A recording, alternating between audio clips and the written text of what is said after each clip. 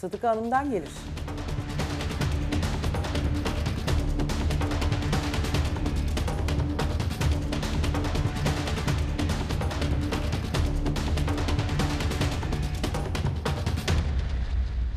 Benim de Sena'ya puanım 4.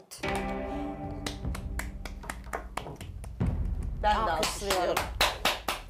Ben de alkışlıyorum. Teşekkür ederim Ben de alkışınız alkışlıyorum. için. Demek ki Herkes lezzetten bu arasında kadar anlıyorlarmış. anlaşmış. Puanlarını Hatta bu belirlemiş, kadar gelmiş. anlıyorlarmış. Hayır bunun Ben anlaşmayla demek ki kiş yerine ilgisi yok. gerçekten şiş yapmalıymışım ya da böyle bir tavuk sate yapıp böyle koymalıymışım. Hayır. Ha ya da şey yapmalıymışım ya hazır yufkadan sigara böreği, paçanga böreği falan böyle uğraşmasaydım elimle atsaydım ortaya mesela. Ya işte- Hani benim öyle bir şey yapmam gerekiyormuş. Bence ben boşu boşuna uğraşmışım, boşu boşuna emek vermişim, yorulmuşum. Bana yaptıkları haksızlıkları da puanı verirken lütfen unutma olur mu? Tabii ki Lütfen gidip de orada 8'i, Tabii 9'u ki falan düşüneceğim. basma yani. Onu sana Ama söyleyeyim. e, yine de eğer Yani en yüksek puanın olsun 4. Bu kadar. Ya anlayan anladığı gibi davran. olmaz, olmaz, olmaz. O, o şekilde Ben o olmayacak. zaman bana da haksızlık yapmış oluyorsun. ama. Haksız, onlar haksızlık yaptı diye ben de haksızlık yapamam Ama ki. derslerini Onlar vermelisin. sana gerçekten haksızlık yaptı senin. Ama bir yarışmadayız. gerçekten Derslerini haksızlık vermelisin yaptı. bence. Ama yani bu bir yarışma. Bu sizin ya- şimdi aynı şekilde ben de senin gibi diğer geline yapmam doğru bir şey mi? Etik olarak doğru değil ama yarışmada onlar bize yapıyorsa bence biz de yapabiliriz yani. Ben sizden bir şey rica edebilir miyim?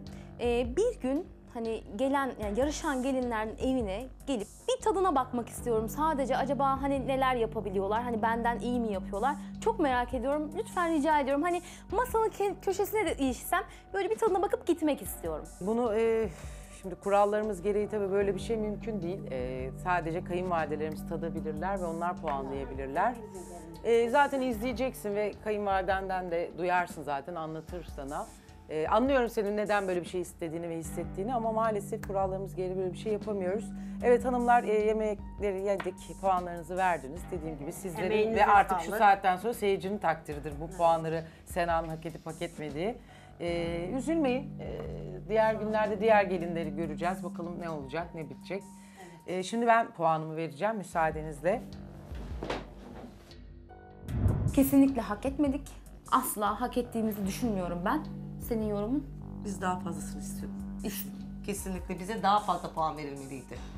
Daha fazla puan verilmeliydi. Bu puan bize göre değil. Bize uygun değil.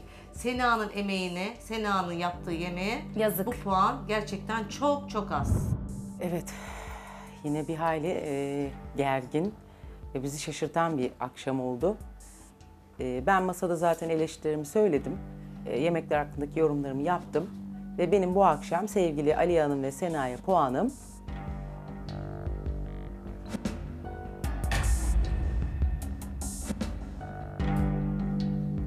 Yarın Sıdık Hanım'la evimde görüşmek üzere. İyi akşamlar.